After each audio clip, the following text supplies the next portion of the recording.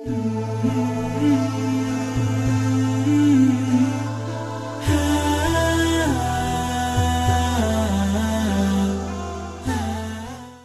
اللہ الرحمن الرحیم۔ السلام علیکم۔ ناظرین کرام، قرآن حکیم فرماتا ہے، یا ایوہ الذین آمنوا، کتب علیکم السیام کما کتب الذین من قبلکم لعلکم تتقون۔ اے ایمان والوں، تم پر روزے فرض کیے گئے۔ جس طرح کہ تم سے پہلی امتوں پر فرض کیے گئے، لعلکم تتقون، تاکہ تم متقی اور پرہیزگار بن جاؤ۔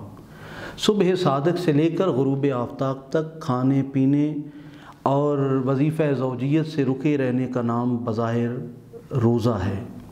لیکن قرآن حکیم یہ کہتا ہے کہ ہم نے روزہ اس لیے تم پہ فرض کیا تاکہ تم متقی اور پرہیزگار بن جاؤ۔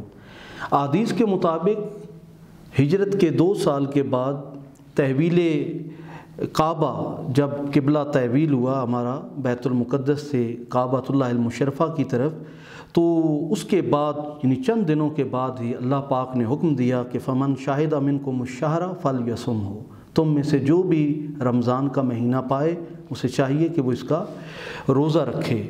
ناظرین کرام، یہودی دس محرم الحرام یعنی عاشورہ کا روزہ رکھا کرتے تھے اور بعض امتوں کے اندر ہر مہینے کی تیرہ، چودہ، پندرہ تاریخ کو روزہ رکھنے کا حکم تھا یعنی یہ سابقہ امتوں پر تھا۔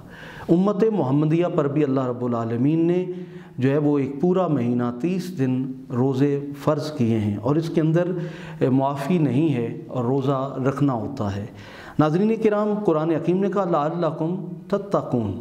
ہم نے روزہ اس لیے فرض کیا تاکہ تم متقی اور پرہیزگار بن جاؤ۔ عجیب بات ہے، بعض غیر مسلم اعتراض کرتے ہیں کہ شاید مسلمانوں کے رب کے ہاں رزق کم ہو جاتا ہے جو مسلمانوں کو بھوک اور پیاس کا شکار کر دیتا ہے اور کہتا ہے بھئی اب کچھ نہیں کھانا، پورا دن بھوکا رہنا ہے۔ وہ انسان بھی بڑے شوق سے روزہ رکھ لیتا ہے، جو پورا سال دن میں تین تین بار کھاتا ہے اور اس کے علاوہ بھی بہت کچھ کھانے پینے کا عادی ہوتا ہے، لیکن وہ روزہ رکھتا ہے۔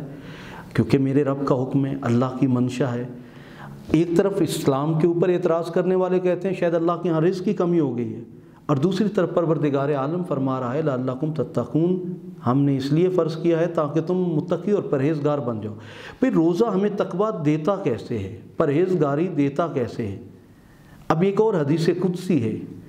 نبی کریم نے فرمایا السوم علی وانا اجزا بہی اور اجزا بہی۔ روزہ میرے لیے ہے اور اس کی جزا میں خود ہوں یا میں خود دوں گا۔ ناظرین کرام، انسانی زندگی میں ہر عمل کی جزا جنت ہے۔ انسان نماز پڑھتا ہے، جزا جنت ہے۔ انسان حج کرتا ہے، جزا جنت ہے۔ انسان زکوٰۃ دیتا ہے، جزا جنت ہے۔ انسان تسبیح و تحلیل کرتا ہے، جزا جنت ہے۔ انسان ماں باپ کا احترام کرتا ہے، جزا جنت ہے۔ انسان چھوٹے بڑے کا حیا کرتا ہے، جزا جنت ہے۔ انسان سود کے لین دین سے بچتا ہے، جزا جنت ہے۔ انسانی زندگی میں جو بھی نیکی کا معیار ہو سکتا ہے، ہر ہر نیکی کے بدلے میں جزا جنت ہے۔ لیکن روزہ ایسی عبادت ہے جس کی جزا جنت نہیں بلکہ جنت والا خود ہے۔ وجہ کیا ہے؟ ناظرین کرام، ہم نماز پڑھتے ہیں، کوئی اور نہ بھی دیکھ رہا ہو۔ تو اہل محلہ تو دیکھ رہے ہوتے ہیں، پڑوسی، پڑوس کا محلہ نہ آئے۔ لیکن جو آپ کا اپنا محلہ ہے، وہاں کے سارے لوگ آپ کو نماز میں دیکھتے ہیں کہ بھئی یہ بندہ نمازی ہے۔ آپ زکوٰۃ دیتے ہیں، کوئی اور نہ بھی دیکھے جس کو دے رہے ہیں، کم از کم وہ تو دیکھ رہا ہے۔ اور حج میں لاکھوں لوگ آپ کو دیکھ رہے ہیں کہ آپ میوے عبادت ہیں۔ لیکن روزہ ایک ایسی عبادت ہے جس میں آپ تاریکی میں اٹھتے ہیں اور صبح کا مرغ آزان نہیں دیتا، ابھی صبح صادق ہے اور آپ ہاتھ کھانے سے کھینچ لیتے ہیں۔ جب سورج غروب ہو جاتا ہے، پھر آپ روزہ افطار کرتے ہیں۔ سارا دن آپ کے ماتھے پہ کوئی لیبل نہیں ہے۔ آپ کے گلے میں کوئی ایسا لیبل نہیں ہے کہ آپ روزہ دار ہیں۔ یہ خفیہ اور پوشیدہ عبادت ہے۔ کوئی شخص آپ کے چہرے کو دیکھ کر یہ بھانپ نہیں سکتا کہ یہ روزے دار ہے۔ فرمایا، ہر عبادت کے اوپر جس میں لوگ شریک ہیں، دیکھ رہے ہیں، جن میں لوگوں کے اوپر آپ کی عبادت پوشیدہ نہیں ہے، اس پر جزا جنت ہے۔ اور یہ جو پوشیدہ عمل ہے، اس کے اوپر اللہ پاک نے فرمایا، چونکہ دنیا والے بے خبر ہیں، لیکن خالق لم یزل اس پر باخبر ہے، اس لیے اس کی جزا کوئی اور نہیں۔ رب العالمین نے فرمایا، ہر عبادت تو میرے لیے ہے، لیکن اس میں دکھلاوا ممکن ہے۔ روزے میں دکھلاوا نہیں ہے۔ ان پہ جزا جنت ہے اور روزے پہ جزا جنت والا خود ہے۔ ناظرین کرام، یہ اتنی بڑی عبادت ہے کہ جس کے اوپر ہمیں، ہمارا رب مل جاتا ہے۔ کیوں نہ ان لمحات کو ہم اس طرح گزاریں کہ ہمارا رب ہم سے راضی ہو جائے اور ہمیں دلوں کا تقوی ملے۔ تقوی اللہ کا خوف ہے۔ اب دیکھیے گھر میں آپ فریج کے اندر حلال رزق ہے، آپ اپنے پیسوں سے خرید کے لائیں آپ کے ہاں ٹھنڈا مشروب ہے، پانی ہے، وہ سب آپ کا اپنا خریدا ہوا ہے۔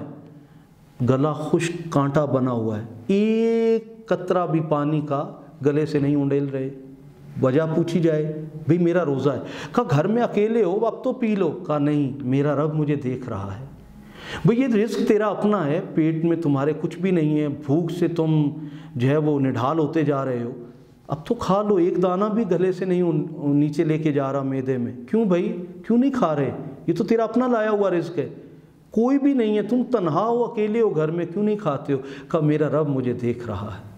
وہ جو بندے کا تنہائی میں اپنے رب سے یہ جو رشتہ جوڑتا ہے کہ میرا رب مجھے دیکھ رہا ہے اس لیے میں اس برائی کی طرف، میں اپنے رب کے منع کیا کردہ کاموں کی طرف ہاتھ نہیں بڑھاؤں گا۔ رب تعالیٰ کو بندے کی یہ پاکیزگی بہت پسند ہے۔ اللہ پاک فرماتا ہے، میں بندے کے اس تقوی، اس پرہیزگاری کو دیکھنے کے بعد اسے اپنا آپ عطا کر دیتا ہوں۔ مولا حسین فرماتے ہیں، پاک وہ نہیں ہے جس کی مجلس پاک ہے، بلکہ حقیقت میں پاک وہ ہے جس کی تنہائی پاک ہے۔ اور روزہ نہ صرف ہماری مجلس کو، بلکہ ہماری تنہائی کو بھی پاک کرتا ہے، ہمارے من کو روشن کرتا ہے اور ہمارے ٹوٹے ہوئے رشتے کو ہمارے رب سے جوڑ دیتا ہے۔ آئیں اس مائع مقدس کی ایک ایک گھڑی کو اپنے لیے غنیمت جانتے ہوئے، اپنے رب سے اپنے ٹوٹے ہوئے رشتوں کو ایسے جوڑیں کہ پھر شیطان اپنے تمام وار آزما لے، لیکن ہمارے رب سے ہمارے رشتے کو کبھی نہ توڑ سکے۔ مالک ہمیں اس مائع مقدس کا احترام کرنے اور اس میں اپنے رب کو راضی کرنے کی توفیق عطا فرمائے۔ وما علیہ الا البلا